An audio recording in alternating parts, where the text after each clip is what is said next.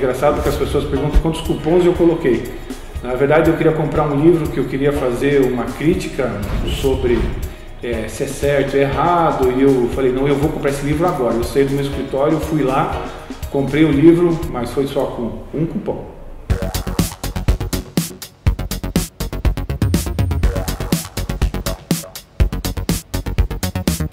Eu sou cliente da Livrarias Curitiba desde sempre, desde que eu conheço Livrarias Curitiba, me conheço como gente. Minha mãe sempre comprava todos os nossos materiais de escola na Livrarias Curitiba e eu também como professor, obviamente, ali é onde me sinto super bem. Então me parece que foi um presente mesmo, eu acho que de Deus, porque é o lugar que mais me sinto bem é uma livraria, porque lá que está o conhecimento, ainda ser premiado, é, foi fantástico. O que eu gosto mais da livraria é justamente pegar e ficar livre, à vontade, ninguém fica me perturbando, é, perguntando se eu quero um determinado livro. Existe uma abordagem muito inteligente dos vendedores, eu acho isso fantástico.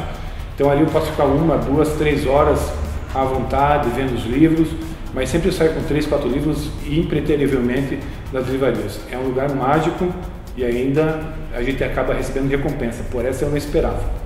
Olha, para ser bem sincero, quando eu recebi a notícia que ganhei o carro, eu fiquei uns dois dias pensando, é, trote estão me sacaneando, roubaram os cupons da promoção e agora eles estão querendo passar a perna em alguém, porque foi difícil cair a ficha. Só caiu a ficha mesmo o dia que eu fui assinar o documento do carro. Aí eu falei, não, é verdade mesmo, eu ganhei o carro, não é verdade?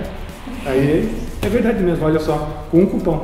Então na próxima vocês também podem participar com um cupom que a chance é a mesma. Eu acredito que uma das coisas mais fantásticas que a Livraria Curitiba nos oferece é educação. E as minhas duas filhas, tanto a Júlia como a Pietra, quando elas vão no shopping, elas têm que passar na Livrarias Curitiba como obrigação para ler livros, olhar as novidades. Isso é muito bom.